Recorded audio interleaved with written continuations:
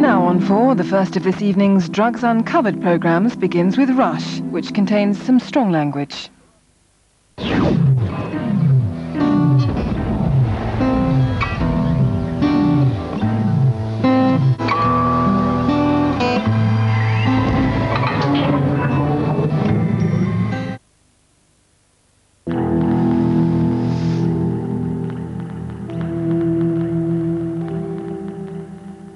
First drugs craze, pep pills became a symbol of rebellion for mods. Since then, every emerging youth group has had its drug, a badge of belonging. For the hippies, it was LSD and cannabis. They thought drugs would throw open the doors of perception and change the world. It was an adventure that began in the swinging 60s.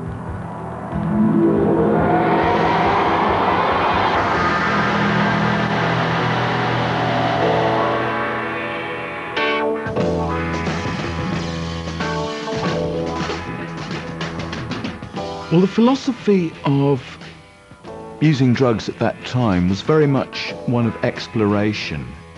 It was like opening up inner space. We were like the astronauts of inner space. You know, some people climbed mountains. We went and climbed the mountains of our inner landscapes.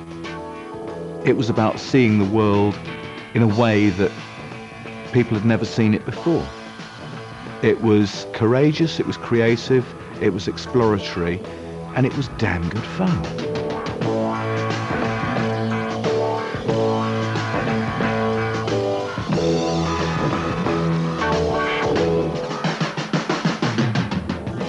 I think about five of us smoked about half a little joint, and uh, so I must have had one puff and knew that was for me. After it went dancing down the street back to my college.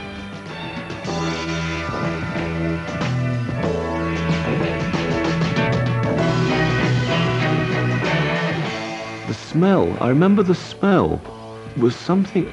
It, occasionally in your life, you, you, you, you meet someone and you think, I'm meant to be with that person, or you smell something and you know that that something's going, that smell means something to you.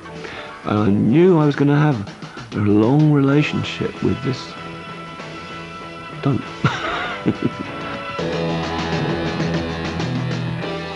In the early 1960s, dope was considered evil. In law, no distinction was made between cannabis and heroin. People didn't really know what it was. I can remember uh, two policemen from Lemon Street arresting a West African for um, uh, possession of a joss stick because they didn't know what it was and they'd heard about cannabis. Well, uh, I, I was caught coming back from India. I had four pounds, and they gave me four years for it.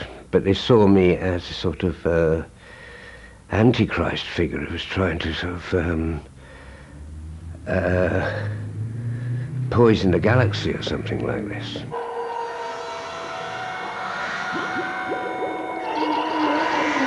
At that time, uh, drug meant um, heroin, addiction, child suicide, rape.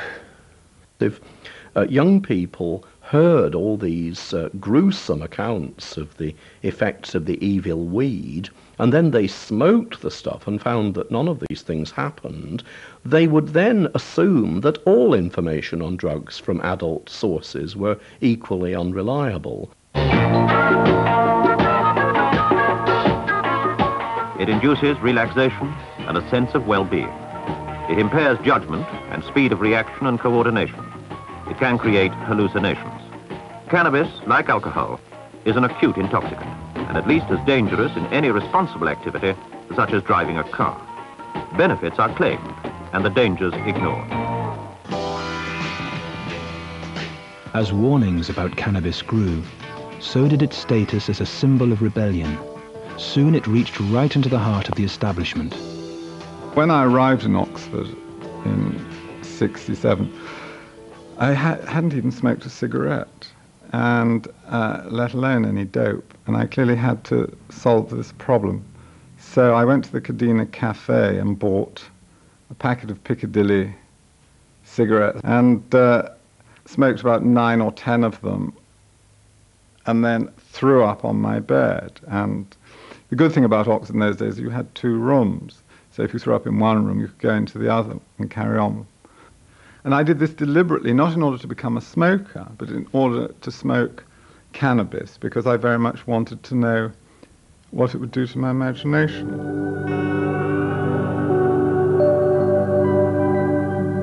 Duncan Fallowell was not alone. Scandal hit the university when the extent of cannabis smoking among students was revealed. I did a small-scale study of the use of cannabis at Oxford. I concluded that 10% of the undergraduate population smoked cannabis when it is available, when it was available to them. I cut the figure in half, 5%, but converted it into a number of 500. Uh, then it came out in two-inch headlines in The People, drug sensation in Oxford. The senior proctor, Yardley, insisted that uh, there were no more than 20 or 30 people, and they were all mental and physical wrecks. Their nervous systems were shot to pieces. It was nothing really to smoke dope, but you would meet these little groups of rather nervous people hanging around the cloisters, wondering whether they would have a, joint that night or not, and then probably deciding they wouldn't. Uh, they mostly became schoolmasters. But the, the people who were going to do it did it quite quickly, and the rest watched them disintegrate or otherwise. It wasn't just students who were learning about cannabis. So were the early drug squads. The Oxford office, this particular day, they uh, noticed that um, uh, cannabis was becoming too prevalent. Um, so they hired a punt and punted up the river in Oxford, uh, arresting uh, a student sat on the banks uh, smoking cannabis and a good time was had by all, supposedly. Uh, I was extremely annoyed and, and read the Riot Act. That wasn't their responsibility. But I wanted to know who was supplying the cannabis to those students. You know I smoked a lot of grass. Oh Lord, I popped a lot of pills. I would score from Jamaicans. So 1960, 1961, it was only that previous decade that the Caribbeans had been coming over and had settled in Notting Hill. So yes, I would go up to a cafe in Westbourne Park Road and go in the back and get uh, a big sort of wadge of Jamaican grass, which would be wrapped in a newspaper like a bag of fish and chips.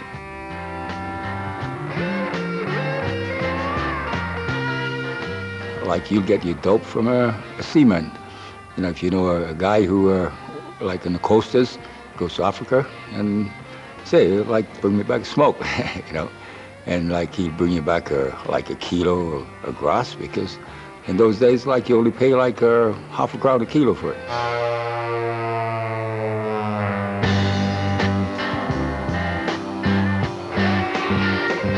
As we went into the, the coffee bar, we sat down opposite these two people that my friend had already arranged that we'd meet to score a bit of dope from. Um, they looked at each other, whispered something, and then turned to my friend and said, Is he fuzz? Which in those days was, Is he a copper? And uh, and then my friend looked at me and said, uh, "You better show him, Dave." So I, I undid my herringbone mod overcoat and bam, showed them my um, caftan and beads and bells and things like that. And they said, "Oh well, he's cool." And we managed to score our first quid deal. Over bridge of sights to rest my eyes in shades of green under dreaming.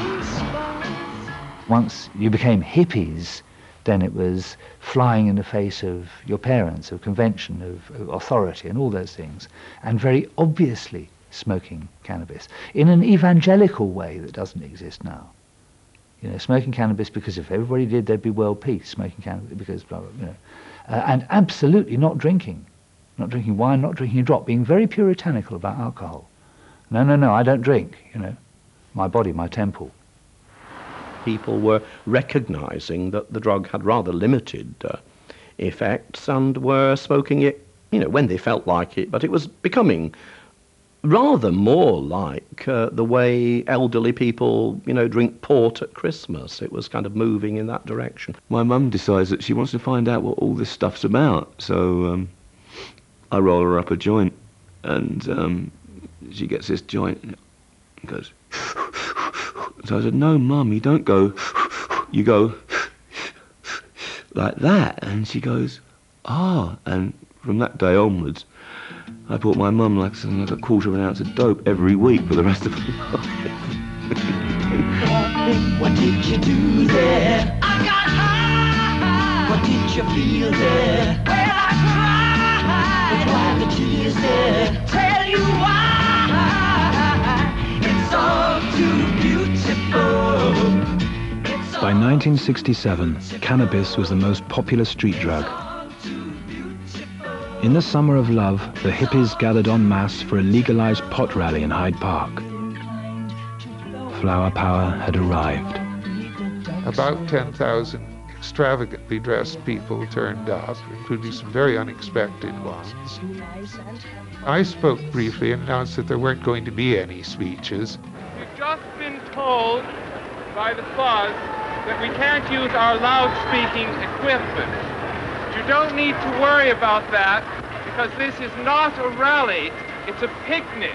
We transformed it into a normal Sunday at Hyde Park Corner, except that everyone was speaking on the subject of cannabis. Anyone who wanted to would get up onto a soapbox. Several thousand other people sprawled uh, across the park. There were no arrests. I was arrested momentarily for drinking champagne, but the policeman was bought off with a couple of cups of champagne for himself. I had the full hippie regalia on, the um, caftan and um, these nice hippie beads and this huge great sleigh bell. And then we found ourselves dancing around people in deck chairs. It was a nice sunny day and they were sitting in their deck chairs watching the swans and people rowing up and down the Serpentine. And us mad idiots in our floral get-ups were all dancing around them going, you make love, be free, be happy, whoa, have a flower. It's all too beautiful. It's all too beautiful. And then we moseyed off to the Hilton Hotel, and um, all arm in arm, we all surrounded the Hilton Hotel, and we were all kind of dancing around it, going, "We want pot, we want pot." Meditation, asceticism, birth, death, change, creation, destruction, and ganja. In 66, 67, 68, we really thought we could change the world. And we would change the world and marijuana would become legal. We really thought that would happen. It's all too beautiful.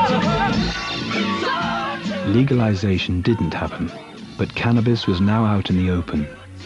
The rally was followed by an advertisement in the Times, the top people's paper, calling for the law to be changed.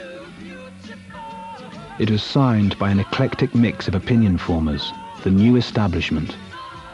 The paper earned the nickname the Pot People's Paper, and cannabis had become the acceptable face of drug taking.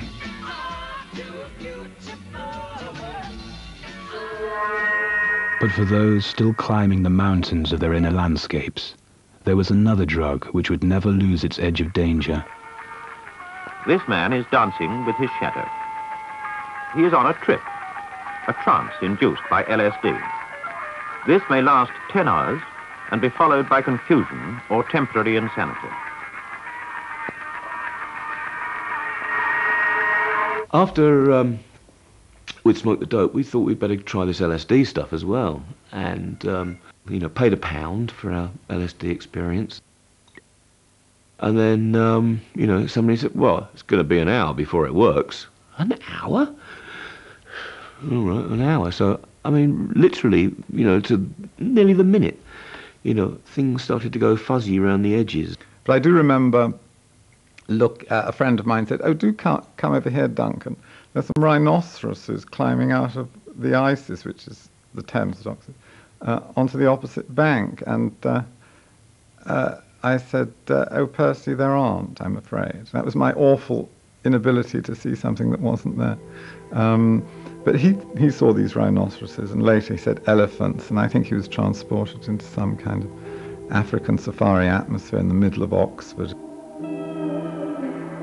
It takes you beyond your own life beyond anything you experience, and whether it's good or bad, whether it's pleasurable or not, it's significant. It's, it seems so much more significant than ordinary existence.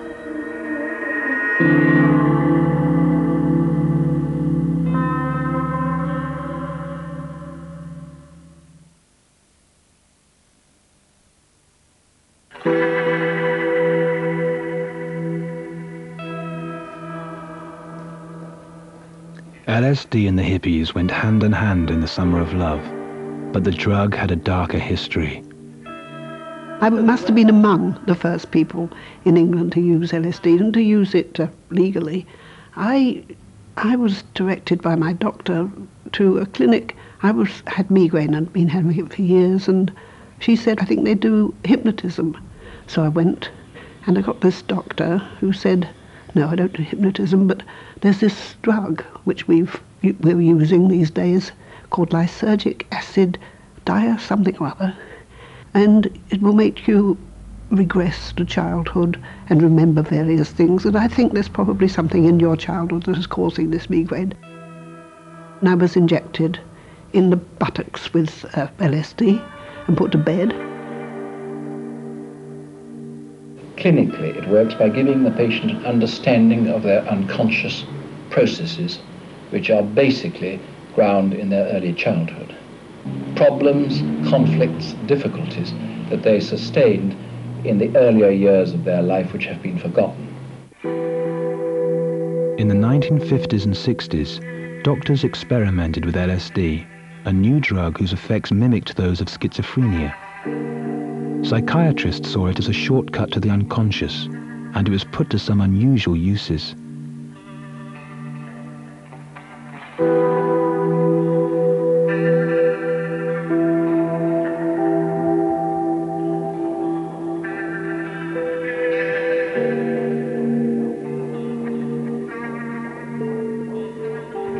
I've taken the drug myself under guidance 15 mm-hmm. years ago, and there's no argument. You can go right away back to your babyhood and experience fantastic things out of your babyhood of which you are completely unconscious. I put my head down between the bed and the wall and pushed and pushed and pushed until I emerged. And the doctor, I think, was there at that time, and he said, Do you think you're being born? And I was, I know that.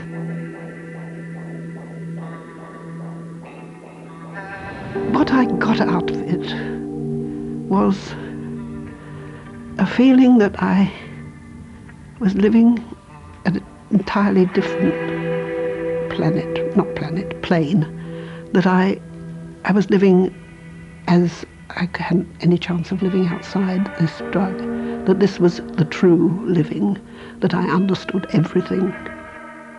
It didn't do any good for the migraine, but it was a wonderful experience.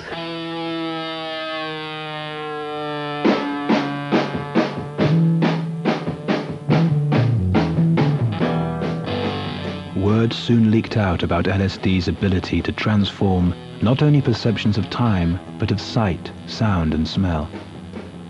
In the early days, before the drug was made illegal, liquid acid was put on blotting paper, sugar cubes, even stamps to make it more palatable, and a new drug craze was born. The pioneers christened LSD psychedelic, or mind-expanding.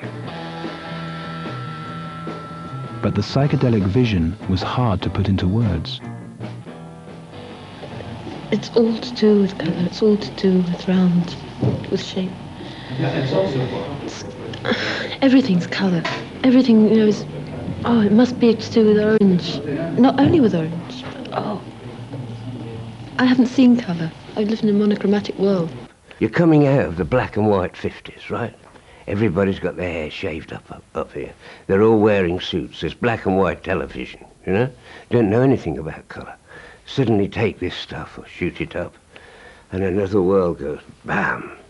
Suddenly you realise, hey, this isn't such a bad place to live in, providing um, I'd like to everybody to live in this world, and I'd like everybody to have a chance to. So I dispensed as much as I possibly could to turn on the world.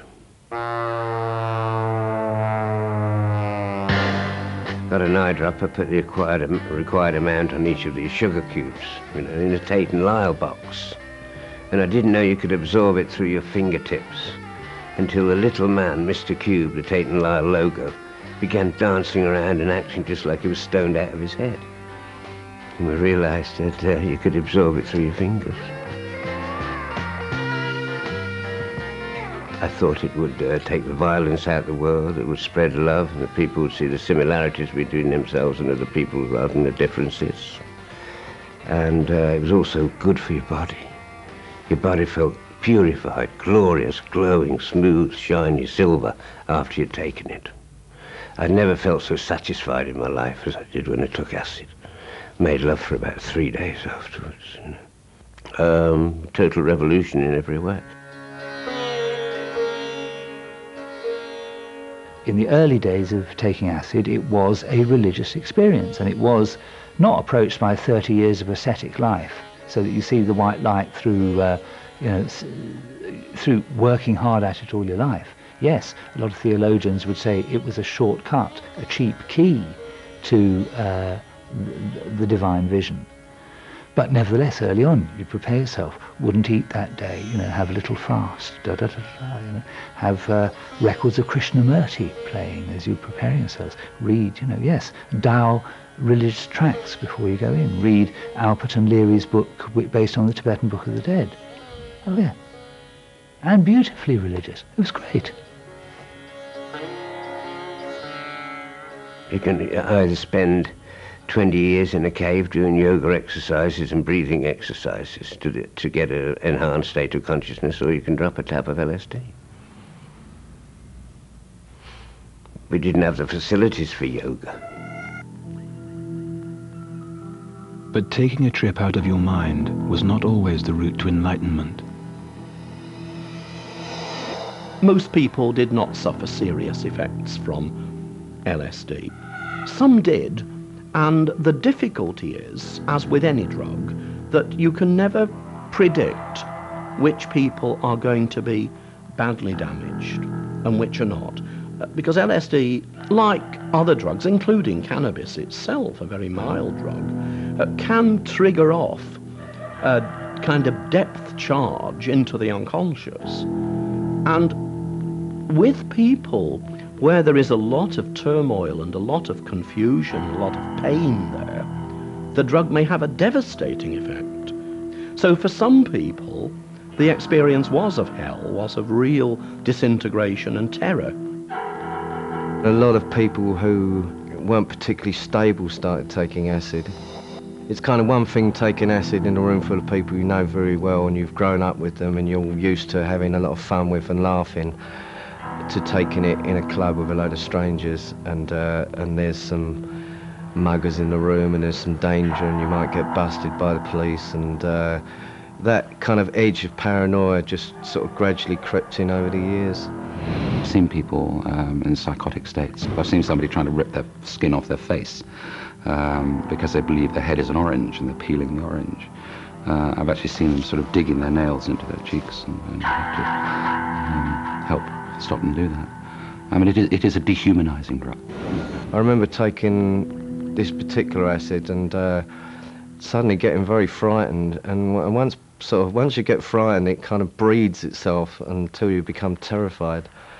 And I ran across these fields and found a deserted church, and I can remember banging on the door of this church, screaming at God to let me in. And God didn't let me in because there was no one there, but uh, in my mind I could see sort of devils laughing in the sky at me and stuff like that. And uh, I didn't get in the church and just felt it, it had all gone wrong. There was no God.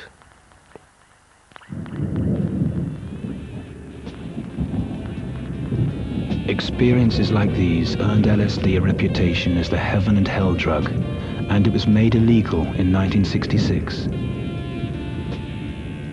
But as in previous attempts to nip a drug craze in the bud, legislation was a double-edged sword.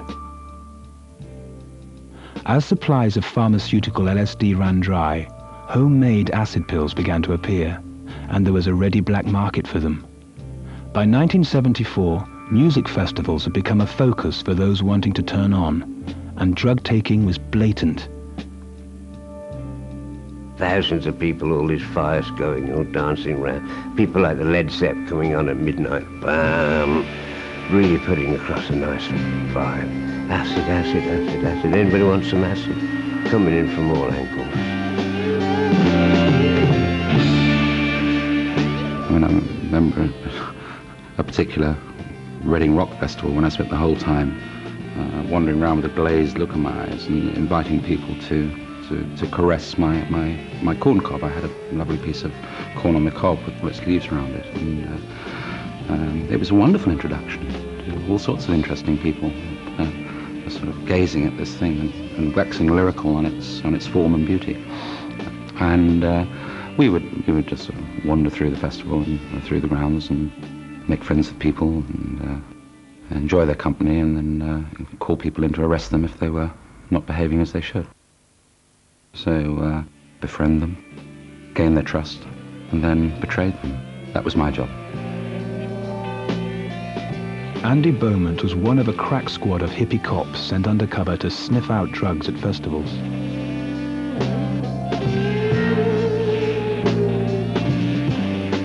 I have to say that we, we, we tended to make it up as we went along. You know, we, we wouldn't smoke uh, gold-tipped Sobranies. Uh, we, would be rolling our own.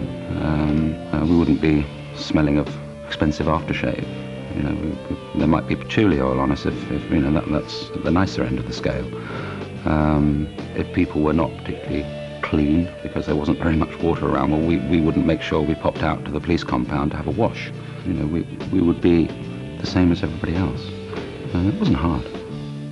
As reports from the undercover cops came in, their boss realized the official view of acid as a small-scale problem was way off the mark.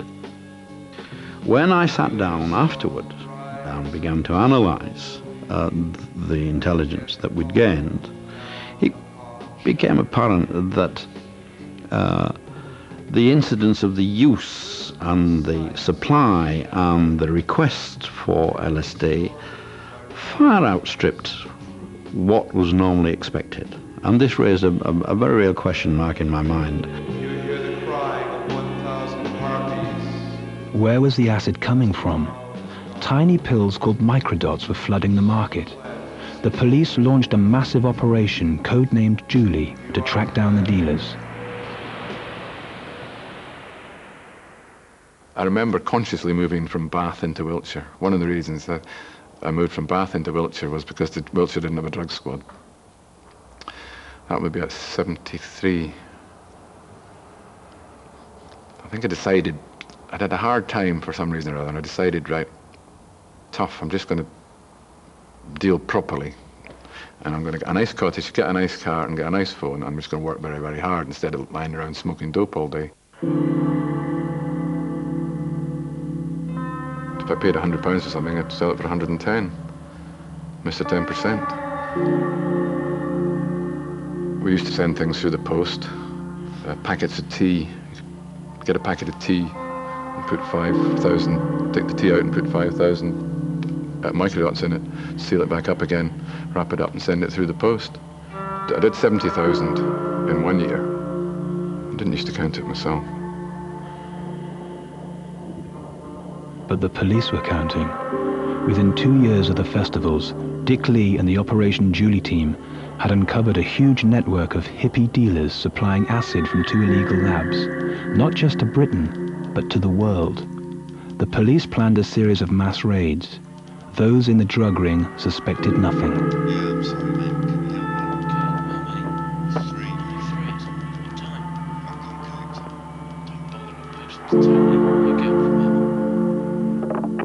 What's it they say about paranoia? You're not really paranoid. They really are, really are looking for you, you know. But then what, if you've got paranoia about the police watching what you're doing, then you have to, you have to overcome it. You have to think, well, I'm paranoid because I'm dealing drugs. Therefore, I, that man is not following me around. So eventually when they did follow me around, I didn't see him. I said, no, no, he's not there. Stuart Lockhead's microdots were coming from an illegal lab in a suburban London street. Dick Lee led the raid on it. We found uh, a packet at Alpen with, I think, £14,000 in uh, notes stuffed in it. We found half-eaten Chinese meals with fibres and tenors stuck in it. They had a very good tasting whiskey. Um, it told me that they were handling enormous sums of money because money was of no value to them whatsoever. Bearing in mind, we were living on £3.15 a day subsistence allowance, and I hadn't been throughout the, the operation. We certainly had a very clear idea that we were dealing with uh, probably the most valuable commodity on earth. It was a weight for weight. It was the most valuable thing on, on the planet because a gram of it was worth so, so much money as opposed to a, a gram of gold. The police were amazed at what the operation uncovered. Enough LSD to make 300 million pills and vast assets in Swiss bank accounts. It literally blew the whole official picture of drug abuse in Britain and the world. It ran into hundreds of millions, uh, in excess of 300 million pounds at 97, 1990, uh, 1977 uh, values, which I understand now is somewhere in excess of a, a, a billion pounds. It's the largest seizure uh, in the world. Stuart Lockhead was sentenced to eight years for his part in the drug ring. The price of acid rocketed overnight. When I went to Dartmoor prison, where there was quite, uh, there were some of the the Kray gang and quite a lot of East End villains. And when they read the press and saw the, the amounts of money involved, it really opened their eyes. I think a lot of these villains suddenly realised they should be in that line of business. The hippie dream was dead, but a new generation was waiting to dance on the grave.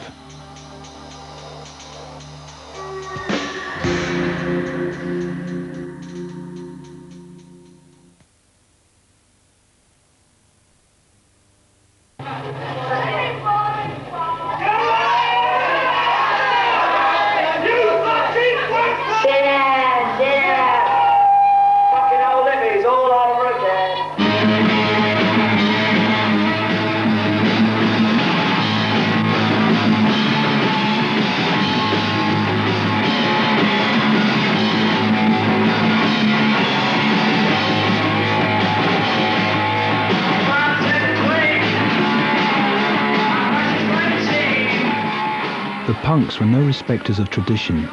They mistrusted hippies and scorned their drugs. They wanted something fast, furious and physical. And an illegally made powder, amphetamine sulfate, appeared to fill the breach.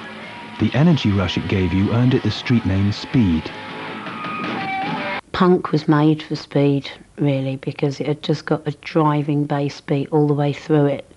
And it just, you know, it was just like that all the time. And it made you want to go. You know, it made you feel like you were on top and you could march down the road and you could do anything. Sulfate suited punk because punk was very much about, musically at least, it was about short, fast songs, and Sulfate is about a short, fast experience. It was also politically correct because it was cheap and proletarian. The buzz of speed was very grindy and jangly and jittery and shredded nervy.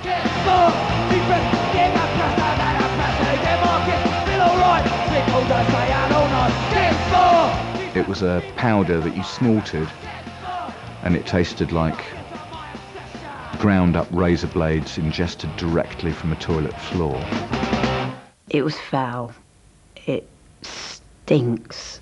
Um, why on earth?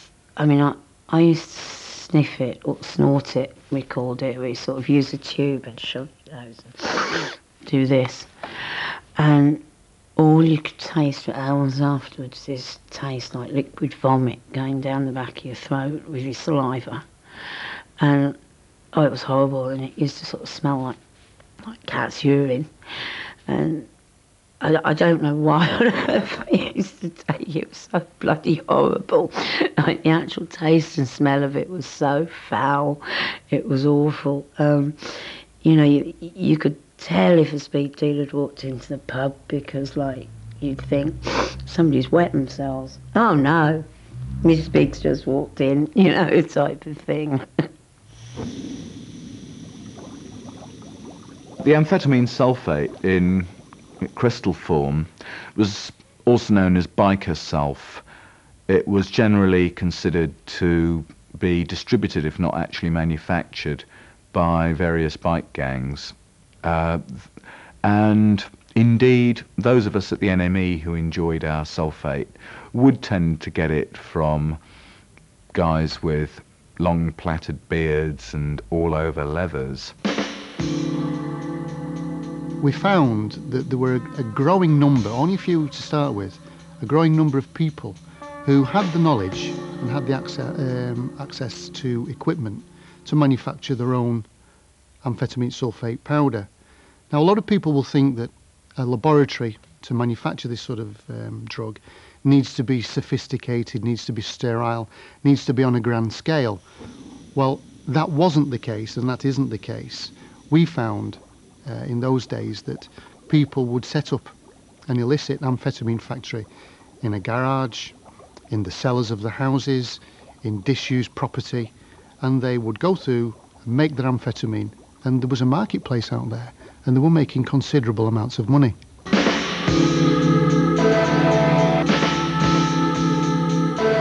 Sulfate powder was even made into pills. Speckled blues were famed for their strength. I'd actually taken a load of blues, about 45 blues, on one weekend, Friday, Saturday. And I felt myself really, really hot Sunday morning. And um, I just thought I was sweating a lot. And I took my top off, and then I was just covered in blood. And I actually looked in the mirror, and I, and I, I thought I got stabbed or, or cut, or I don't know what happened. Um, so, so out of my nut anyway, you know, just completely. And um, looked in the mirror, and, and actually covered in blood. And I looked at my back, and it's full of my pores just spurting out blood. So I think really it's just the actual speed of the poison in the, in the speed of actually trying to come out in every which way they can.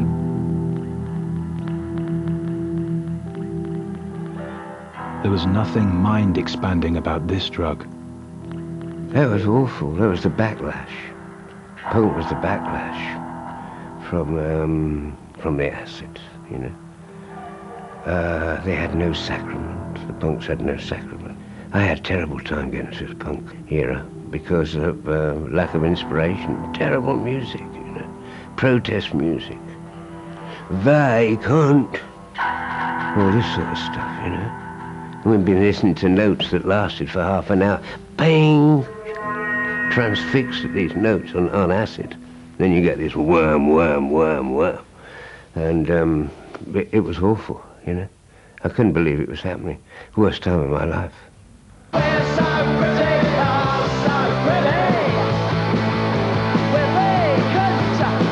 Some turned to injecting sulfate for a greater hit.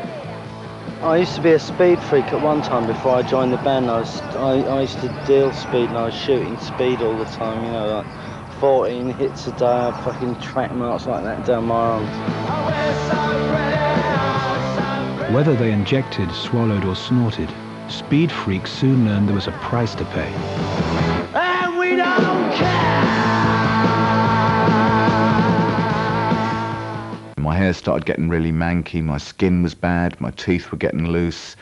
Uh, every time there was even the faintest uh, cold or flu bug around, I would get it really badly and be ill. And eventually I decided this has to stop.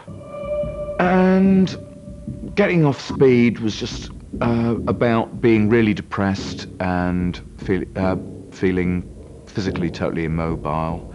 My body had almost totally packed up manufacturing its own adrenaline because the speed was doing it for me.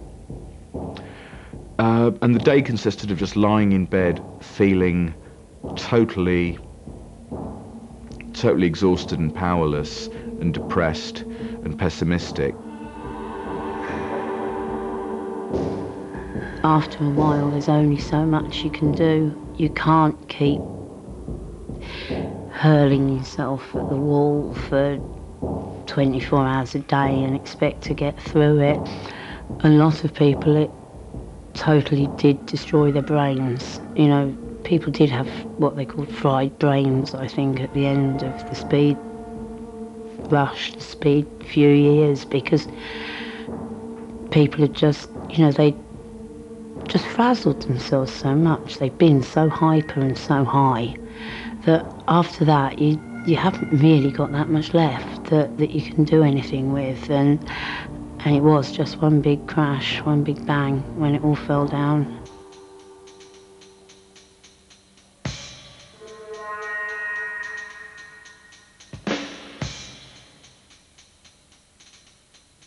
Eventually, your body rebels. You just get complete sleep deprivation. You don't eat much on sulfate, so you know physically you're getting quite malnourished. You know your your body's going with no fuel inside it. Basically, when I was in that situation, I would take some barbs, and barbs are such a a seductive thing. You know, once you've taken a few, you forget all about the speed. You're just into barbs then, and. and and, and once you're involved in the barbs world, it's like getting caught in a nightmare. You don't know the way out.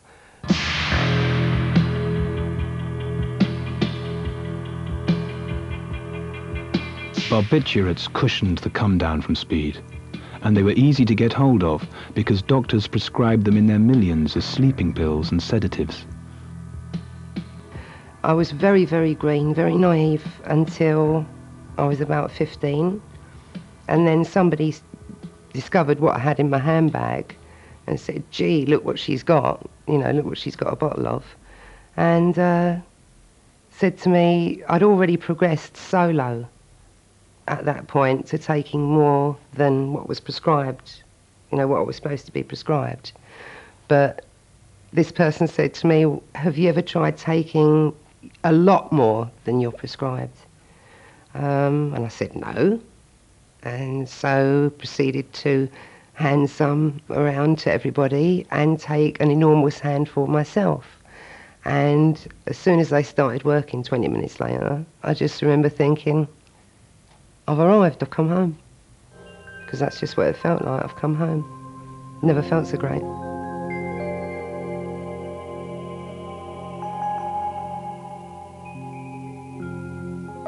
Barbiturates round everything off. They make it smoother, more tolerable, easier to take.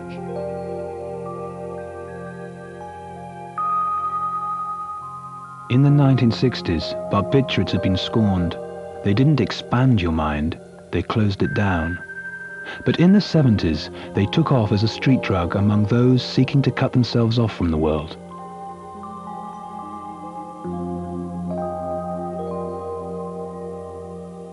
Turned to injecting, but there was a thin line between an effective hit and an overdose.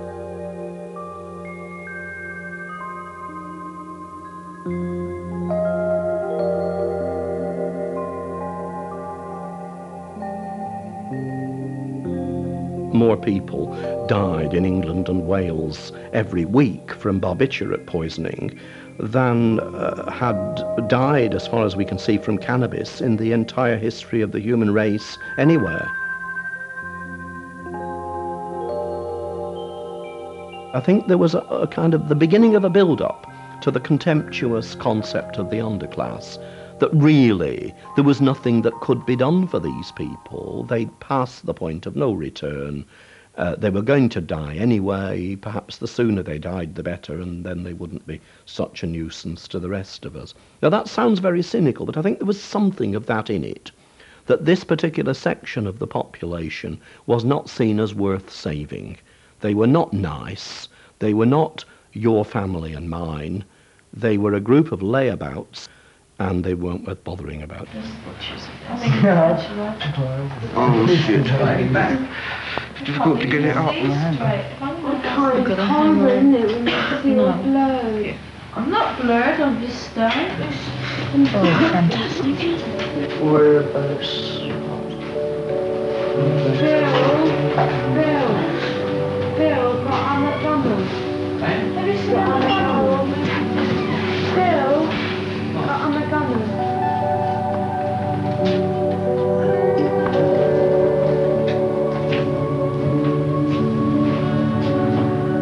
whole life gradually disintegrated. I just found myself living in a squat in Brixton, and gradually it was like, uh, you know, on the shoreline, all the, you know, the dregs and the flotsam and jetsam sort of kind of.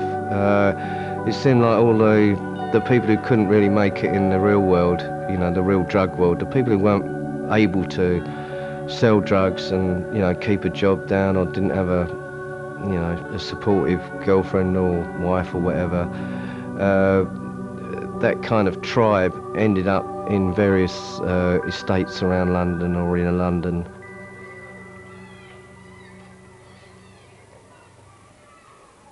I vividly remember waking up in a in in a room. It wasn't my flat. It was someone else's squat, and uh, a blanket over the the window. Uh, and I woke up and I, I had a a needle on my arm, another needle further up my arm, and as I rolled over, a needle fell out my side, and I looked down at my ankle, and there was another needle sticking in my ankle, and uh, and I just thought this has got to be, this is it. I cannot go on like this.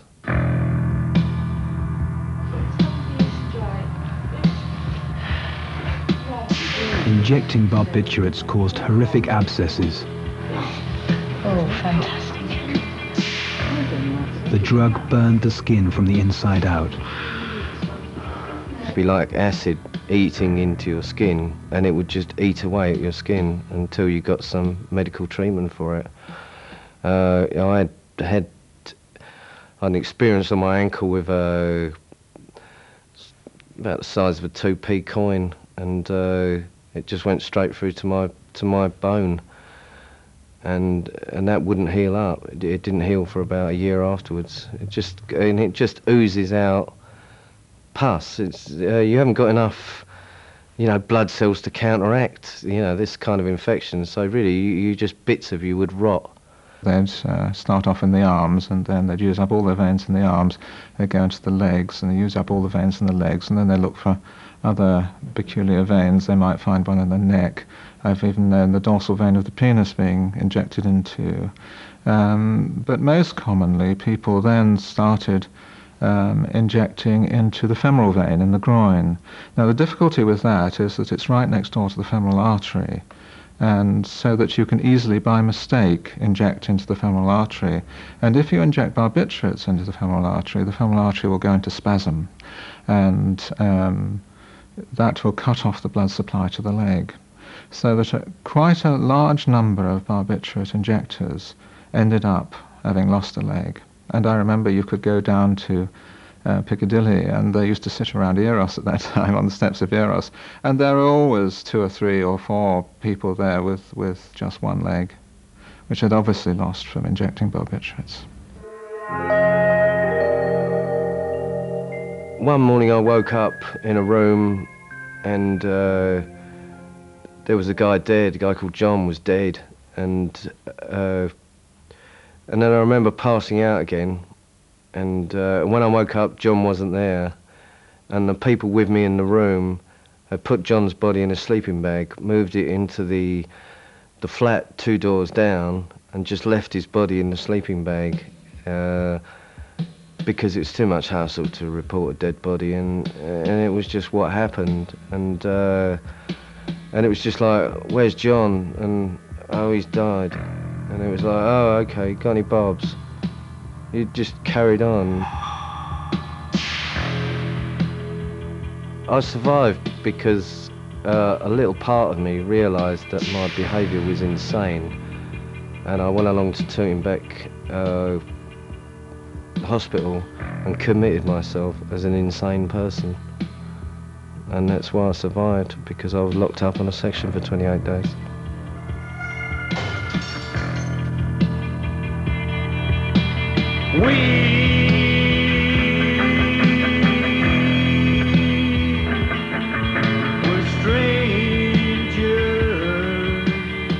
Barbiturates were the most lethal street drug ever.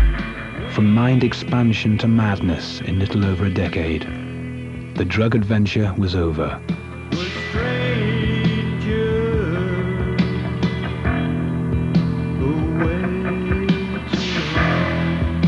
Next week, the 80s and 90s see an explosion in recreational drugs, and more people than ever before are lured into the drug supermarket.